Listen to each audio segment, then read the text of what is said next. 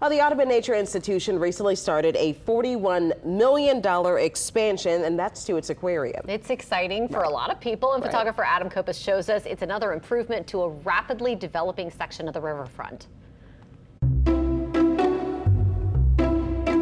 This area behind me is where the new entrance to the aquarium and the insectarium will be with a 60 foot tall uh, glass entrance that's going to be pretty spectacular and quite an addition to the riverfront.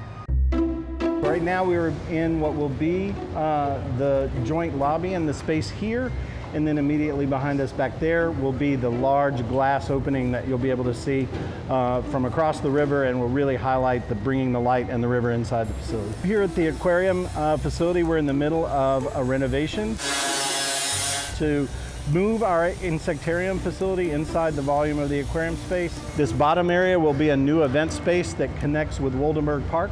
Uh, outside in our breezeway, and then the insectarium space will be upstairs on the second floor. In addition to uh, bringing the insectarium into the facility, it's a great opportunity for us to do some uh, refreshing of the existing aquarium facilities. For the insectarium, we really wanted to take away the angularity. Design elements include a lot of curved walls and a much more natural organic feel for moving around. The aquarium facility is 30 years old.